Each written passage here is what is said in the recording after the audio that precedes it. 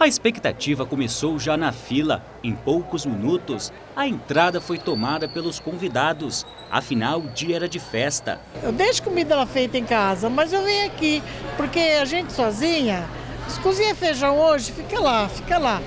Arroz, fica lá. E aqui não, todo dia é arroz, feijão feito do, no dia. A mistura eu não ligo não, então, o que tiver vier tá bom. E a sobremesa, sabe o que tem hoje? Não, o que que é? Bolo. Opa!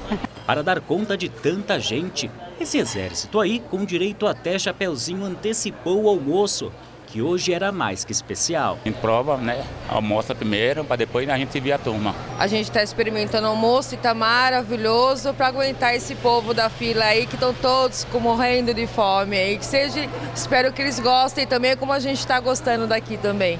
Além do sabor, o almoço foi todo pensado, algo em torno de 1.200 calorias por convidado. E tem de tudo, viu?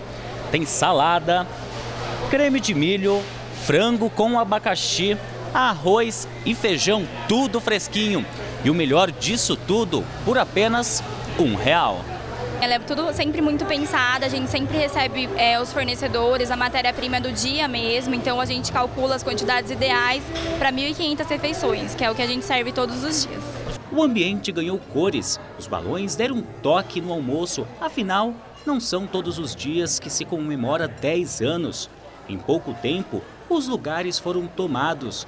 Ficou até difícil dar entrevista nessa hora. O Bom Prato veio para Jundiaí, como você falou, 10 anos completando hoje, é de muito sucesso. Então a gente tem aí a responsabilidade de manter, desde o primeiro dia, Prato de Jundiaí fez fila e nunca mais acabou. Então todos os dias nós servimos a cota de 1.500 refeições. O grande sucesso do programa, eu costumo dizer que é um tripé.